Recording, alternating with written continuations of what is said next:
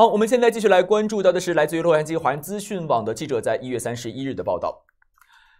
在一月三十日的凌晨的时候，位于东区钻石八 Golden Spring Drive 还有 Lemon Avenue 的交叉路口的商场发生了一个大型的盗窃的案件，有多家的商铺都被砸破了大门。犯罪团伙入室行窃。那根据知情者的透露，这个商场内呢有多达七家的商家受到了伤害，其中就包括了多个华人的商铺。那么案发以后呢，一位受害的商家就找到了社区治安人人有责组织，也就是 TACF 组织，向这个协会呢提供了监控录像还有案件的详情，也请相关的人员协助报案。那么知情者就透露，犯罪团伙呢有多达六个嫌疑人。商场内连续一排的商家都被砸了，其中包括了华人的税务所、华人的饮品店或者是中餐厅等等。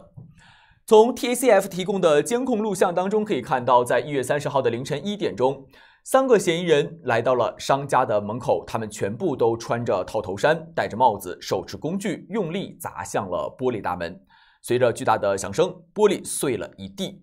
小偷破门而入，进店四处翻找。那其中的一个小偷就一直在找收银台的那个地方，开始搜刮一些抽屉里的财物。一分钟以后，店内警铃就响了。然而窃贼还并不害怕，继续的作案。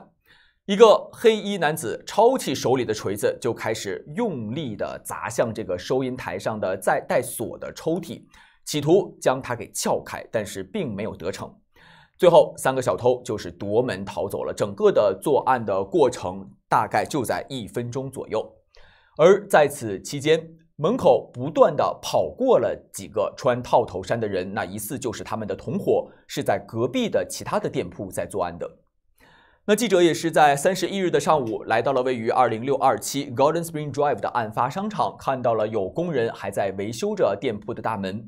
连续几家被砸的商家都暂时的换了木头门来应急，目前也都恢复了正常的营业。那记者也看到有一整排的受害商家，包括了其他的一些商铺，比如说韩国的诊所、华人的税务所、饮料店、中餐厅、韩国料理店等等。而整个的这个商场一共是有二十多个的商家，其中大部分呢都是中国人和韩国人所经营的。一位韩国的受害业主在接受了记者的采访的时候呢，他就说到：“说他现在呀在接受采访的时候很怕说店名，因为很害怕下次他就又成为小偷的目标了。”那他也坦言说，这是他在这个地方经营三年的时间以来遭遇的最严重的一次盗窃案。那去年这儿也发生过两次的入室盗窃，都是单家的商铺被盗，而今年这次已经是连续七家被盗了，是令人非常震惊而且难以相信的。那韩国业主就说，放在收银台的几百块的现金那被偷了，而因为现在的很多的客人吃饭都是刷卡，所以说收银台现金并不多，小偷也没有偷走店内的其他的设备。此外，它损失最大呢，其实就是这个玻璃门的维修费。一扇玻璃门的价格大概是在一千到一千两百美元。由于并没有达到保险的赔付额，那就只能够自费的更换了。同时，他也强调正在计划给店铺安装这个防盗的铁门。他就说，他对面的商铺自从安装了防防盗的铁门以后，就再也没有被砸过。看来他也是不得不考虑一下这么做了。那记者也是试图联系了另外的几家华人的受害商家，他们都表示呢不便接受采访。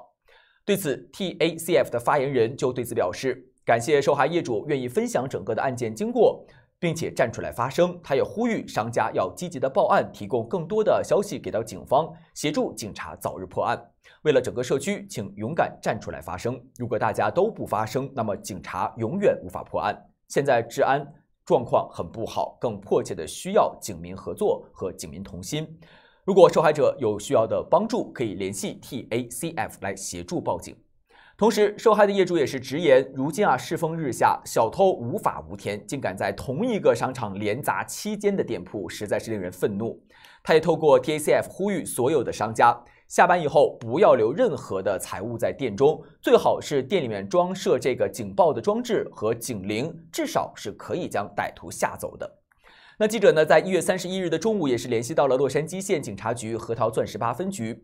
警方表示已经去现场做了记录和调查但是案件的报告还并没有出来预计将在二月一日会有报告记者也将会继续的对此案进行跟进。